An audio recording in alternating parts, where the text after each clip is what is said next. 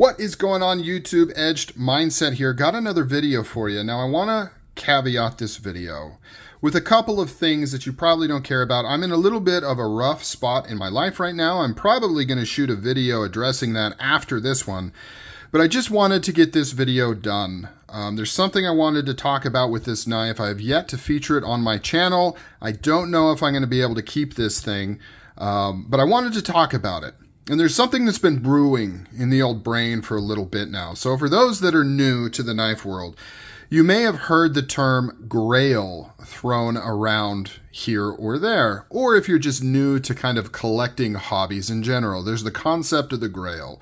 Now, what is the grail? In general terms, the grail is just some item that you are seeking. And it could be that this item is kind of rare, it's hard to get, it's hard to find, could be very expensive. Could be a combination of the both of those things. It could also be just, you know, something that's maybe special to you and not special to other people. It could be very personal. It could be your grandpa's old hunting knife that you lost and your grail is to try and find it. Maybe you know it's on his property or in his house and your grail is to find that knife that maybe you grew up with. Like it's it's kind of different for everybody, but it's thrown about thrown around very lightly in the knife community quite often, right? In fact, it's it's gotten pretty watered down to the point where it's really just whatever somebody wants to get next. You know, and it's different for everybody. Some people's grails are really something that will take years to try to get a hold of. Some people, it's just what they're looking for to buy in the next couple weeks. Um, but it kind of got me thinking, what what is a true grail? Because I've thrown that word around a lot. Um, I've said it a lot for different knives I've wanted and, and different things. I, I try to take it pretty serious. You know, I, I try to make it something that has been on my radar, been something I've been after for a long time. But it wasn't until I got this knife that I can kind of definitively say that for me, this is a true grail.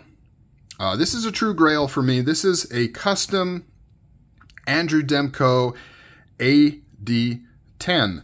Um, and it's not just that it's a custom AD10 that makes it a grail. It's this specific configuration, and it's the year that this came out, and it's bigger than just the knife. Because I know some of you, and, and, why I hesitated to make this video, I've had this knife for a while.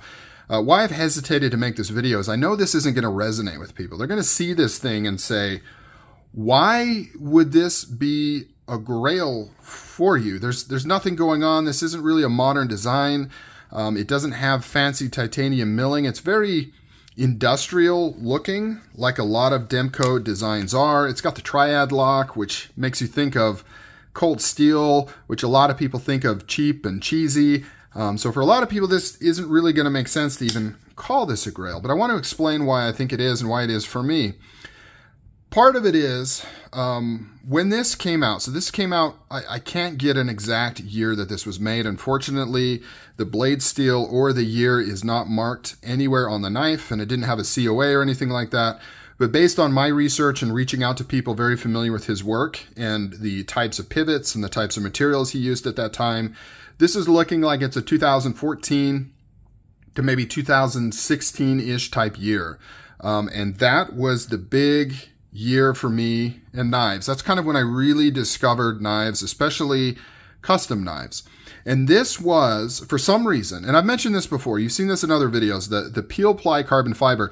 This was the first time I'd ever seen it used. And I really loved the AD10. I really loved the triad lock and I really loved Andrew Demko's designs. Uh, it's not over the top. It's not super artsy. It's not super creative. It's not super uh, detail oriented. It's very industrial, but it has a certain presence to it in simplicity that really resonated with me. Um, I was really obsessed with getting the strongest lock imaginable, which at the time and still is, is the triad lock. And so a custom AD10 was my ultimate grail at that time. And in particular was this peel pie peel ply carbon fiber version. I saw this and it was just everything for me. I mean, it was it was the knife, it was the custom knife that I wanted above all. Um, now I came close to being able to pick up a custom Demko. It wasn't this one. Uh, I almost got a custom 4 Max from him, but this one always eluded me. And at the time, I didn't have a lot of money. Uh, coincidentally, due to recent events, I don't now either.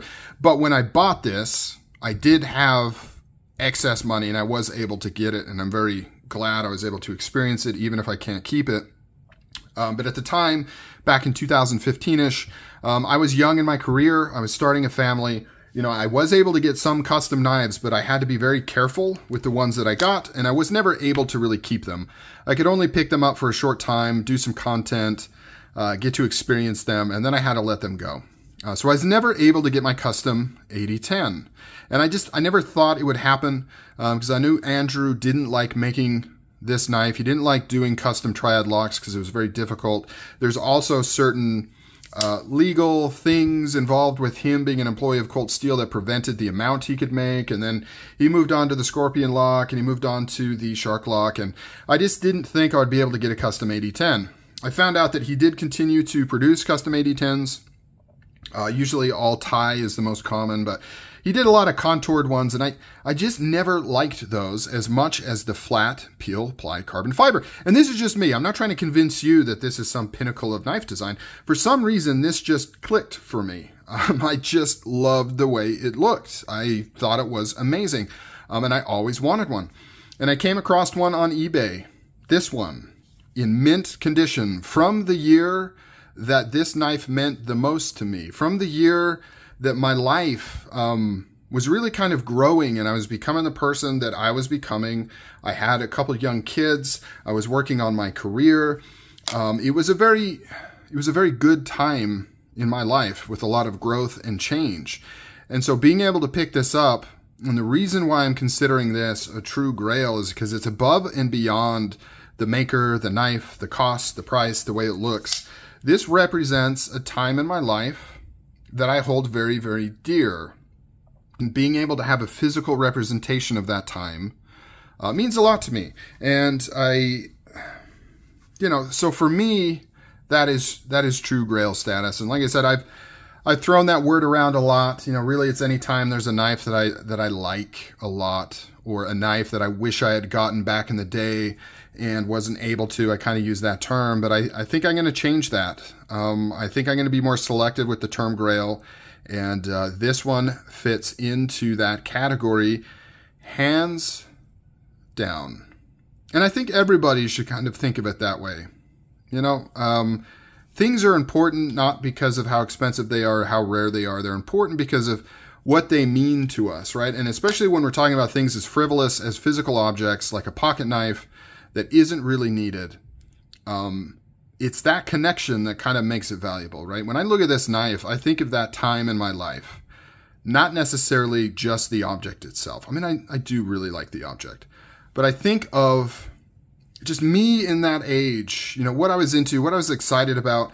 I was, I was, my YouTube channel was just kicking off around that time. I'd started it previous, but that's when it was really kind of getting some swing and I, I it just felt kind of cool and magical in the knife community as well as my personal life. And so this is a good representation of that.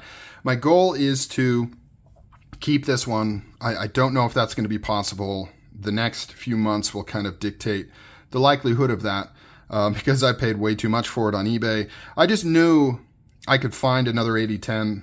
I, I just didn't think I would find this AD10. This is specific um, from a time that I that I care about. So comment down below what you which your opinion, sorry, what your opinion of um, grails are. Do they match mine or do you have a different interpretation of grails? All right, guys, that's it. AD10 custom peel ply carbon fiber. Talk to you guys later. See you in the next video.